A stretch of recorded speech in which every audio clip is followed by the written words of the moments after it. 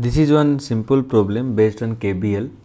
So, what the question is saying? So, question is saying that in the circuit, so some resistors are connected and across each resistance the voltage value is given. You can see here voltage value is across each resistance is given and the polarity is also given.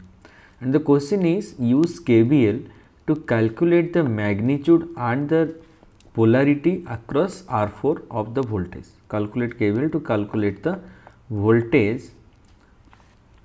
uh, uh, voltage magnitude and the polarity across the resistor R4. So, here we have to find what is the voltage.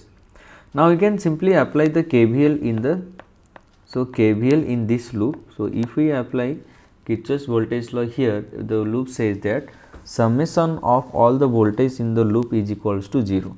So, in this way we can write so, what is the voltage here? 4. So, that is 4. Then what is the voltage here? If I consider this as plus, this as minus while doing the KVL.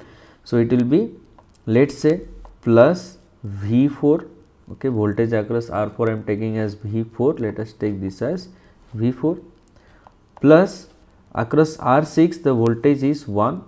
So, you can see the polarity is already given. So, you can take 1 plus here the polarity is given as 2.5. So, you can write here 2.5 and then here the voltage will be minus 2 plus. So, this will be minus here. So, minus 2 plus this is minus that is equals to 0. That implies what is the value of Vx? The value of Vx will be, so if you calculate here it will be 3.5 and the value is 0.5. Okay. So, the then what is the polarity? Polarity means which one is the positive side which one is the negative side. So as we have considered this as positive and other side as the negative.